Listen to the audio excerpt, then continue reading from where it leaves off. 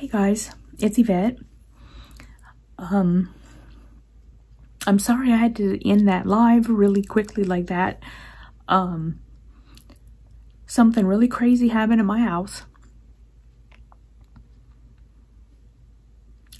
Somebody called into the police and acted like they were my husband and said that he had a gun to my head and he was going to kill me they traced the phone back. So if you guys remember whenever I was in there and I said, oh, there's a call coming in, who's trying to call me? And it was just a regular number. Well, apparently it was the police. And so I just canceled the call, right? I'm not thinking anything about this. Um, so when I went off, it was because my entire house was surrounded by SWAT teams thinking that my husband was trying to kill me. And um, they said it could be because people somehow found out where I live because I'm a YouTuber and I'm on I'm out there.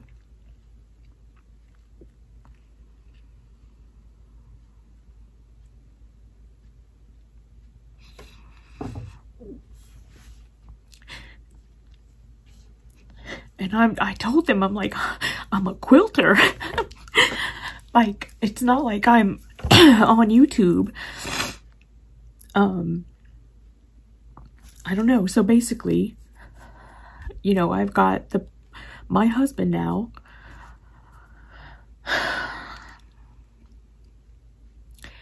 Anyway, I just wanted to come on and do um, an explanation to let you guys know what's going on. I am very shaken up right now and I'm not sure what I'm how I feel yet. I need a minute. Um,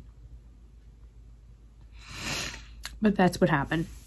I'll see you guys later. Okay, guys, so I'm, you know, finding out now that apparently this is a thing called swatting. Um, there are people out there who think it's funny. They're hoping that on your live, they are going to see you being surrounded by SWAT teams, um,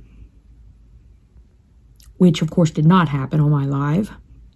Sorry for all the swatters out there that you missed out.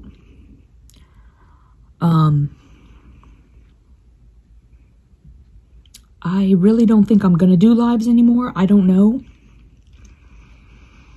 I see nothing funny in this. Jellybean does not find anything funny about it either. Right, JB? He doesn't think it's funny.